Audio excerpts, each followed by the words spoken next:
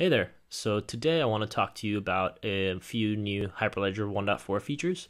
And so one of the new features is a new programming model. So they cut down some of the code um, that's needed to actually um, do some of the authentication on the network, such as getting the certificates from the certificate authority and a lot of and cut down a lot of code and actually invoking the transactions. So I do think the new programming model is a lot cleaner, and I'm excited to teach you it. And so today I'll go through some of the Hyperledger Fabric samples that are posted online. I'll run and deploy one of those smart contracts, probably the FabCar smart contract, and we'll deploy it using the VS Code extension and we'll invoke a few transactions and we'll just check out some of the new features.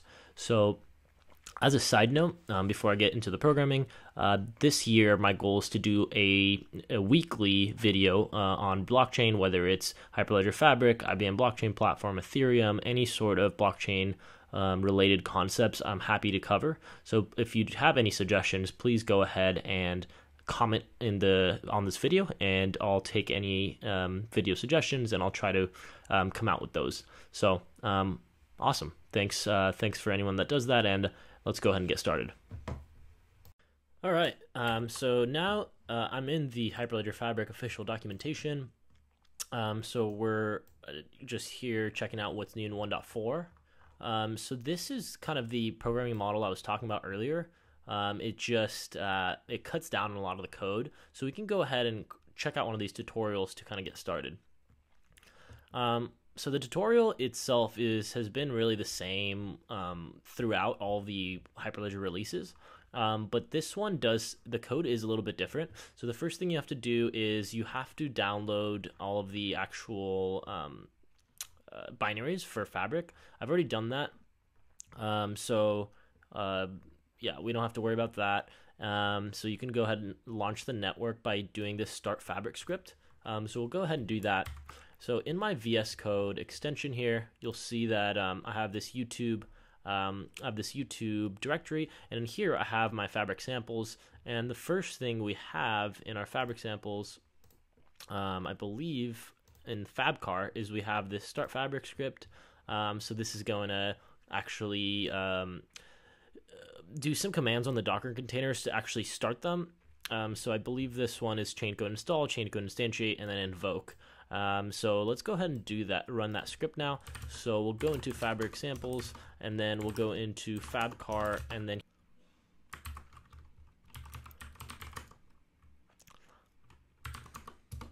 Okay, so we'll do start fabric uh, JavaScript. Um, so I believe you could do TypeScript as well. So at this point, um, it's going to um, this script is going to um, stop all my running containers right now. So I believe I had some containers running from uh, before when I was doing some other samples. So now it's going to stop all my containers and then it'll restart and um, rerun all my containers.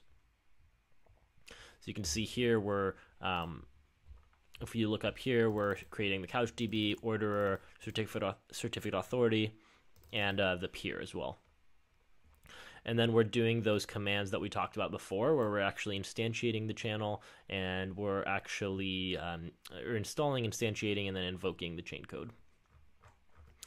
Okay cool. Um, so at this point um, we've kind of at least uh, got the network running. So if we go to docker ps we should be able to see that network. Um, so this is what we have a few seconds ago. Um, you can see we have the certificate authority, the orderer, the CouchDB, the peer, um, and then this is actually the chain code that is installed on the peer.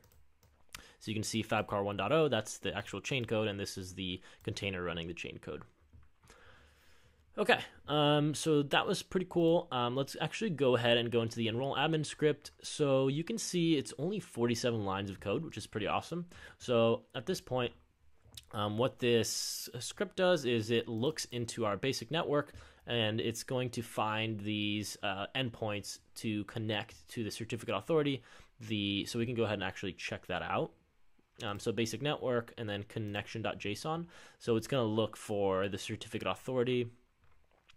Um, so it'll connect to this URL. It'll connect to this URL for the peer and then this for the order. So we can go ahead and check, uh, not that, not that one, um, but enroll admin. Um, yeah. So so basically, we're gonna check for the certificate authority URL. Um, we'll grab that and then we'll use that um, certificate authority URL um, to actually enroll. Um, so basically, we have we got the URL, and then we create a new instance uh, passing in that URL, and then with that instance, we can call the enroll um, API, which will actually create this um, enrollment key. So it has a certificate, and then it has a key. So you'll see that the, that's what that comes out of. Um, and then that's when we have this identity, and then this identity will be put into our wallet. You can see right now there's nothing in our wallet. So um, let's go ahead and create that identity. It'll it'll be a public-private key pair. So let's go ahead and do that. So we'll run node enroll admin. Um, okay, we have to go in the JavaScript directory, and then now we can do node enroll admin. And then now this should populate our um, wallet with this admin credential. You'll see the private key, the public key, and then this is the actual certificate. Um, this is where you can find extra information on um, the identity, such as who actually, so the signing identity is the certificate authority that actually um, created this admin credential. Um, uh, yeah. Okay, so we've done that. Um, the next thing we want to do, we can kind of look through the um, so we'll probably want to run npm install as well. Um, install. Um, and then, so after that, we've created the admin user. We want to actually create a another user. So we want to create a client user that's going to actually be invoking the transactions. So we'll do that in this register user script. Um, and and if you notice, this will be pretty similar. Like if we if we check this code for um, not 1.4, but we can check I don't know like 1.2. So if we if we're still on the writing the first app, you can see that the code is pretty different. Um, so if we go to Fabric Samples online, um, so if we check uh, 1.2, you'll see that the code is pretty. I mean, it's it's doing the same thing, but it is more complex, and there's there are more lines of code. So we can check that right now. Um, yeah, so you, you, can see it almost cut it down by by half, um, and but it is still doing the same thing. Like we're using the Fabric client to create a user, um, and we're still calling the en- uh, the enroll um, from Fabric client. It's still uh, more or less doing the same thing. Cool. Um, so awesome. So now we've done we've run npm install. Um, now the first thing that we do in this, so again we're using this Fabric Network API, and the first thing we do in this function is we uh, get the path to our wallet and then we have to check in our wallet if we have this user one identity, which we don't at this point because all we have is this admin identity. So after we check that, we want to see if the admin exists in our wallet, which it does. Um, and then after that, we're going to use this admin identity. Um, hopefully we have it, which we do.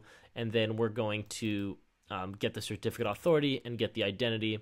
And then we're going to use that to actually register. So we're registering our user one and the role as a client, and we're using the admin identity to do so. And then we have this enrollment. Um, uh, we'll have so that after we register, we get the secret, and then we'll we'll pass that secret in here, and then we get the um, this in this enrollment object will have our certificate and our keys, as you can see here.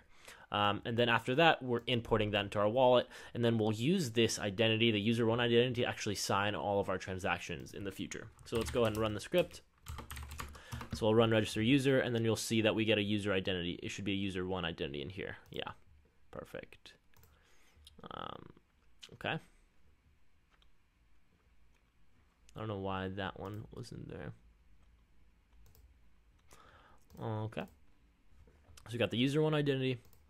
Um, perfect. So at this point, if we go back to the docs, um, we've gone through this, and at this point we can query the ledger, so we can do node query, um, and and you can see here in the actual chain code. Um, if we go back in the chain code and then go to FabCar and then JavaScript, um, you'll see that the init ledger creates all of these uh, cars. So we have um, um, uh, Brown, Holden, Bariana, an Indigo Tata Nano, Fiat. So we have all these cars.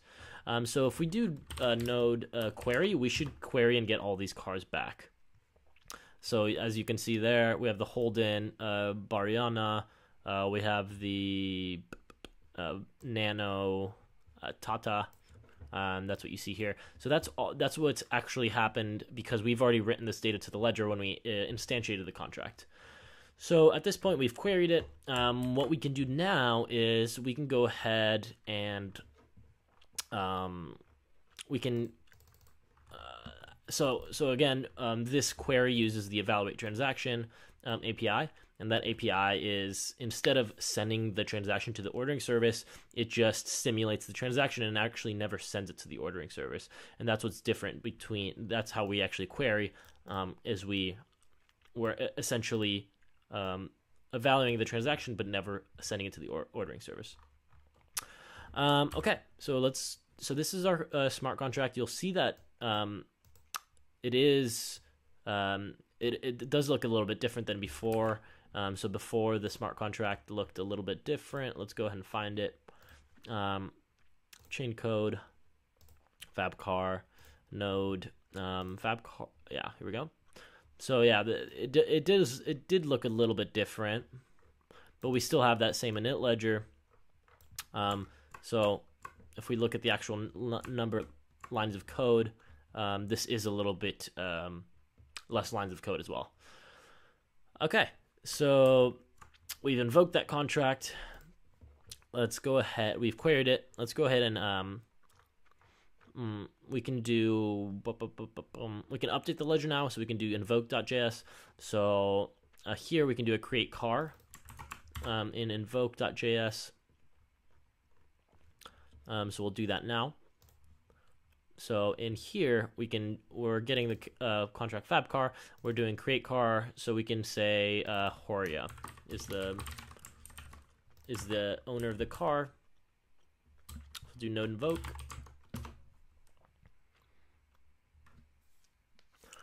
Um, cool.